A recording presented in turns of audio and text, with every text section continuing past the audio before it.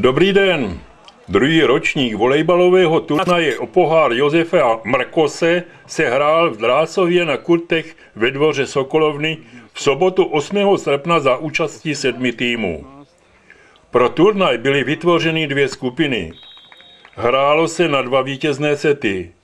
Vítěz bral dva body, poražený jeden. Tři týmy hráli na kurtu číslo 3. Skupinu A vyhrál tým domácího VS Drásov, když porazil Bučovice 2-0 a Teslu Brno 2-1. Druhé skončili Bučovice, když porazili Teslu Brno 2-1. Ve skupině B, hrané na prvním kurtu, tedy blíže k Sokolovně, mezi čtyřmi týmy, první tři vybojovali zhodně po dvou vítězstvích, takže o pořadí nakonec musel rozhodovat poměr setů.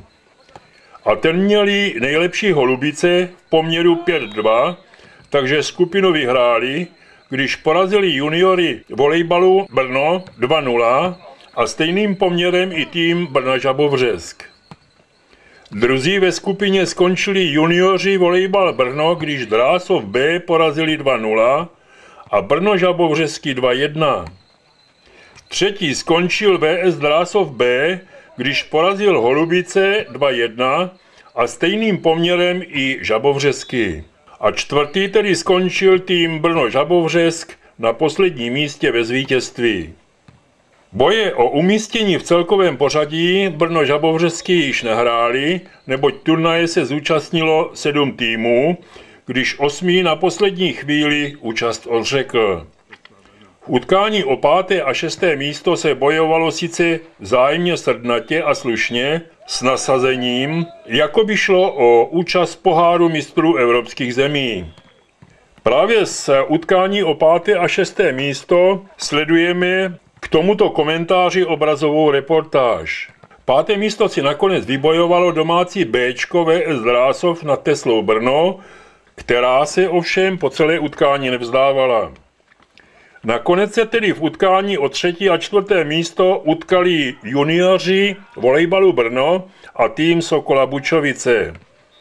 Hrál se na tři sety, v níž se nám podařilo natočit první celý, neboť tou dobou se hrálo na kurtu číslo jedna utkání o páté a šesté místo a z druhého jen půlka. Ani boj o páté místo nebyl procházkou růžovou zahradou, nýbrž boj téměř o každý míč.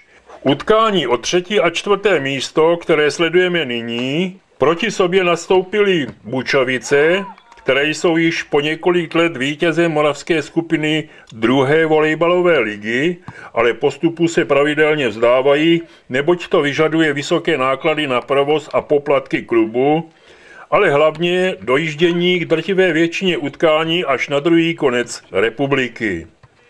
Junioři se proti nim tedy chtěli vytáhnout a v prvním setu se jim to i dařilo.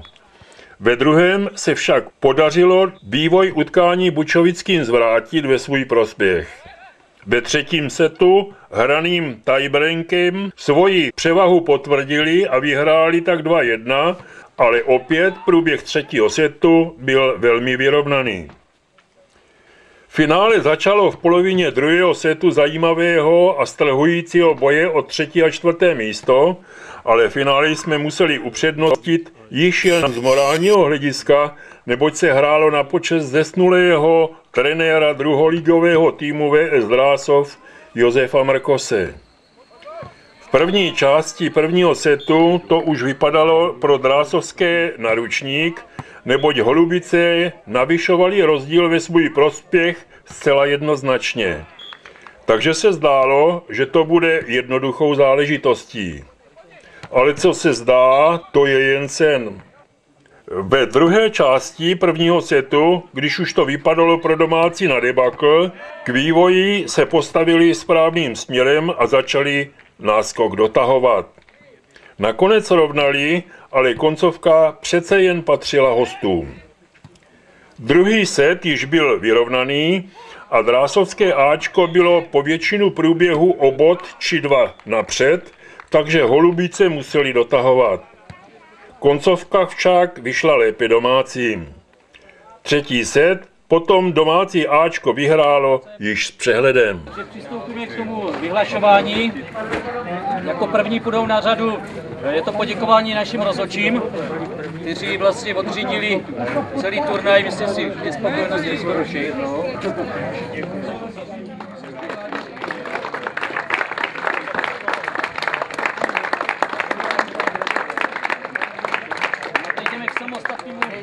vyhlašování. Na sedmém místě skončili Žabomřesky, které odjeli.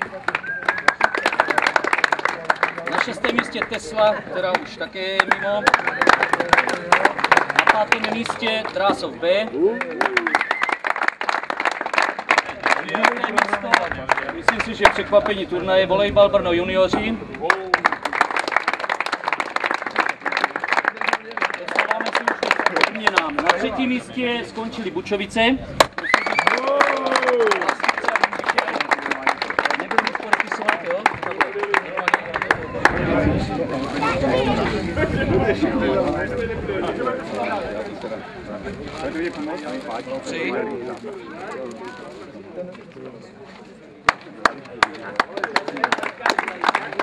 Na druhém místě skončili Holubice.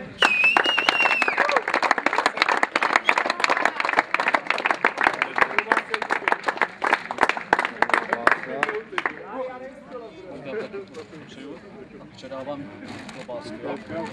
Dáme cigára. Zabor cigára, to je jedno. No a vítěz turnaje je domácí Krásov A.